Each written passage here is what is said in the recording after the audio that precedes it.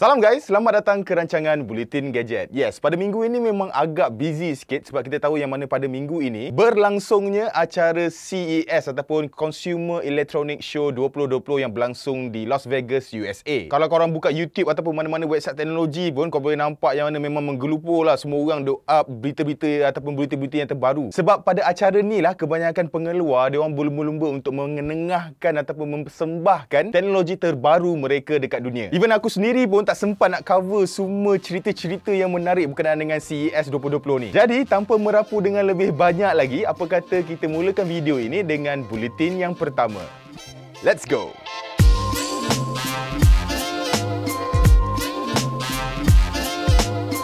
Perkhidmatan Grab Bike sudah pun bermula di Kuala Lumpur. Jadi sebelum ni kita tahu yang mana Kementerian Pengangkutan telah mengumumkan program rintis untuk bike hailing yang mana akan bermula di Malaysia seawal Januari 2020 ni. Dan program rintis ni akan berjalan selama 6 bulan. Makanya lanjutan daripada pengumuman tersebut, Grab dilihat telah memulakan perkhidmatan Grab Bike ni pada minggu ini. Tapi buat masa ni, servis ini hanya akan beroperasi di sekitar kawasan Kuala Lumpur sahaja. Iaitu di sekitar KLCC, Bukit Bintang, Chowkit dan Pudu sahaja. Dan selain itu, Grab Bike ini juga turut mempunyai option untuk korang memanggil penunggang wanita saja. Dan yes, orang yang memanggil tu mestilah wanita juga. So kalau korang laki ke ataupun separa laki ke, ah, korang memang tak boleh panggil lah penunggang wanita. Jangan nak pervert sangat lah, okay? Untuk tambang pula, harga dia adalah bermula pada RM3.70 untuk 3 km yang pertama. Kemudian untuk kilometer yang ketiga hinggalah kilometer yang ke-5.5, korang akan dicas sebanyak 55 sen untuk setiap kilometer. Dan kemudian kalau korang menunggang melebihi 5.5 km, korang akan dicas sebanyak RM1 untuk setiap kilometer. Selain daripada Grab Bike, Digo Ride juga dilihat telah kembali beroperasi semula dan dia punya tambang dia tu ah dia ada lain sikit daripada Grab Bike. Digo Ride ni tambang dia adalah RM3 untuk 3 km yang pertama dan tambahan RM1 untuk kilometer yang seterusnya. Dan sama juga macam Grab Bike, Digo Ride ni juga turut mempunyai option untuk korang panggil penunggang wanita untuk orang yang wanita lah macam kalau aku perempuan aku panggil untuk penunggang wanita. So kiranya dengan adanya Digo Ride ni ah kira macam tak adalah macam Grab Bike tu dia akan monopoli pasaran untuk bike hailing ni. At least korang ada choice lah untuk menggunakan perkhidmatan yang mana satu betul tak?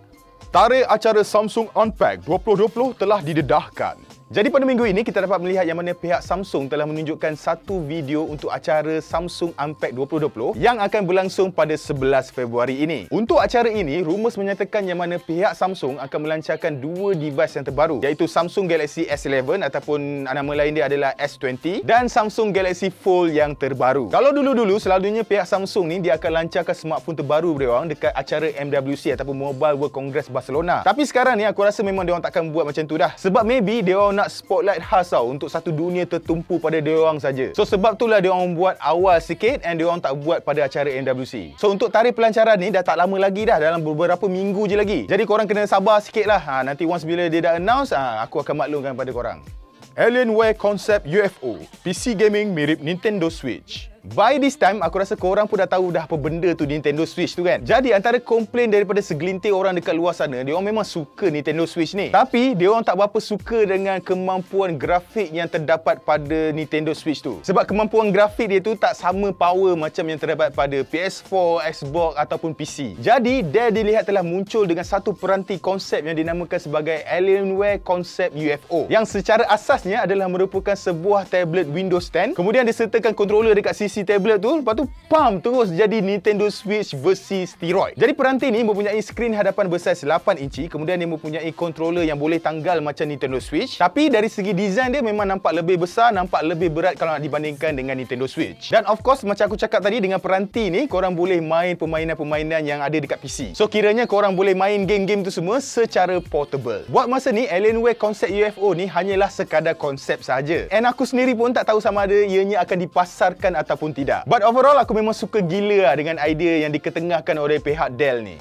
Image iPhone SE 2, iPhone 9 diperlihatkan pada minggu ini juga, OnLeaks dilihat telah memuat naik satu gambar yang memperlihatkan kemungkinan besar ini adalah merupakan iPhone SE tu ataupun nama lain dia ialah iPhone 9. So iPhone 9 ni adalah merupakan penyambung legasi untuk iPhone SE. Dan yes, kalau kita lihat dari segi desain luaran dia, reka bentuk dia tu memang sebiji macam iPhone 8. Bezel dekat depan dia besar, dia pun masih lagi menggunakan skrin 4.7 inch LCD display. Belakang dia pun kaca sebabnya dia mempunyai wireless charging dan of course dia mempunyai Touch ID. Perbezaan iPhone 9 dengan iPhone 8 ni ni adalah dari segi dia punya hardware dalaman dia sebab untuk iPhone 9 ni ianya dikatakan akan didatangkan dengan penggunaan chipset terbaru daripada Apple iaitu A13 Bionic which is sama macam yang terdapat pada iPhone 11. Kemudian ianya juga turut dikatakan akan didatangkan dengan lensa kamera utama dekat bahagian belakang tu yang sama juga macam iPhone 11. Jadi iPhone SE 2 ataupun iPhone 9 ni dijangka akan dijual pada tanda harga jualan 499 dolar saja. Which is kalau kita convert dekat duit Malaysia dia tu dalam 1006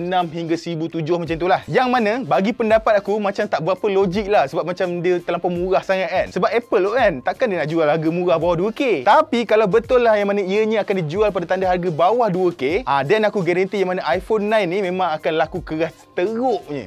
Hypersport, motosikal elektrik paling pintar di dunia. Pada acara CES 2020, Diamond Motorcycles dilihat telah mempamerkan sebuah motosikal elektrik yang dibangunkan bukan sahaja dengan kuasa yang tinggi tetapi didakwa adalah sebuah motosikal yang paling selamat dan paling pintar dekat dunia ni. Dengan kuasa kuda sehingga 200 horsepower, Superbike Diamond Hypersport ni dikatakan mampu untuk ditunggang sejauh 320 km untuk setiap kali dicas penuh. Dan motosikal ini turut dilengkapi dengan sistem kecerdasan buatan yang dikenali sebagai co-pilot iaitu ciri keselamatan pintar termaju dari teknologi BlackBerry BlackBerry QNX. Dan ini sekaligus meletakkan standard ciri keselamatan motosikal pada tahap yang baru untuk generasi motosikal pada masa hadapan. So dengan co-pilot ni, dia mampu untuk mengesan sebarang bahaya, situasi trafik, keadaan jalan raya tu dan ia juga turut dilengkapi dengan sokongan teknologi 4G, Wi-Fi dan Bluetooth. Untuk harga jualan, Superbike Diamond Hypersport ni dijual pada tanda harga 25,000 USD saja. Dan kalau korang berminat, ah, korang dah boleh start untuk pratempah.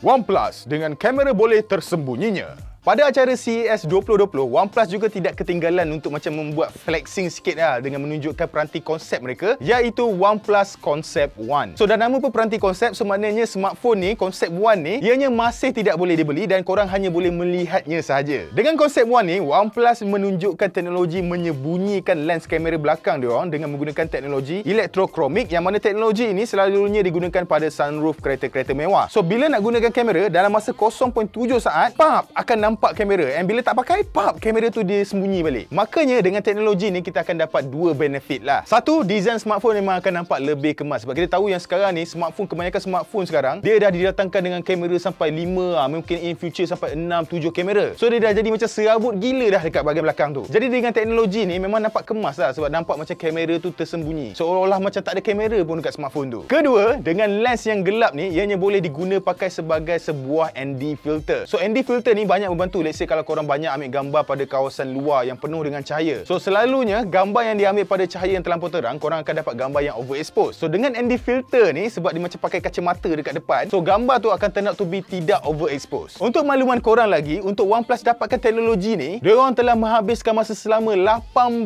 bulan untuk buat R&D semua kan. Macam mana nak letakkan benda ni teknologi ni pada smartphone diorang. So dekat sini aku pun mengharapkan yang mana pihak OnePlus turut menghabiskan masa dalam 18 bulan untuk meningkatkan lagi kualiti kamera dia orang.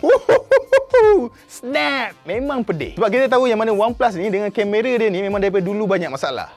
Jadi guys, sampai di sini saja Bulletin Gadget untuk minggu ini. Jangan lupa untuk layari website wiser.mind untuk korang tahu dengan lebih lanjut lagi bulletin-bulletin yang menarik berkenaan dengan dunia teknologi. Sebab dalam video ni, aku tak cover semua benda. Kalau korang pergi dekat website, memang ada banyak lagi story-story menarik. So, jangan lupa untuk like dan subscribe. Kita berjumpa lagi di minggu hadapan. Bye-bye.